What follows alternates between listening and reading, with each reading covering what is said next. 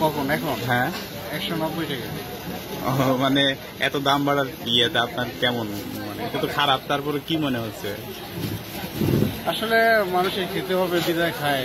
লসের যে অবস্থা খুব খারাপ শোচনীয় অবস্থা। আহ, এর আগে কতগুলো কিনতে এখন কত কিনছেন?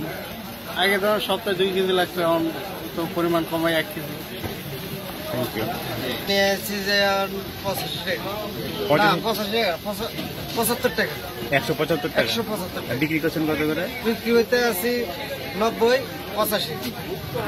পাইকারি নিলে পঁচাশি। আর এই খুচরা একশো নব্বই। একশো নব্বই। এ- এ- এগুলো এখন কোন দেশ থেকে পেঁয়াজ আসে না কোনো বাইরে থেকে? কদিন বিক্রি করেছিলাম বার্মা কালকে বার্মা বিক্রি করেছি একশো চল্লিশ টাকা। এখন আজকে যাই বার্মা যাই পাইনি যাই পচা পেয়ে এক ঘরে নামছে সব পচা পেয়ে এটা আনি নাকি বাংলাদেশ এটা নিয়ে। কোথা থেকে নিয়ে আসছেন এটা? শ্যামবাজার থেকে। শ্যামবাজার থেকে। ওখানে এখন কত করে বিক্রি? এখানে বিক্রি হইতে আছে যাই আর নিচে হলো সত্তর উপর আশি টাকা পর্যন্ত বিক্রি হইতে আছে।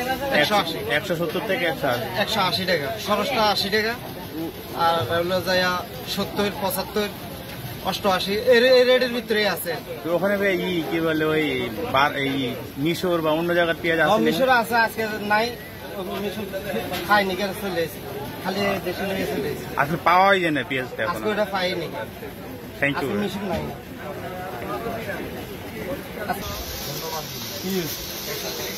মিশরের এটা কত করে বিক্রি করছেন ভাই? আর দেশি এইটা? এটা হলো বার্মা। বার্মা এটা কত করে? বার্মাটা একশো আশি টাকা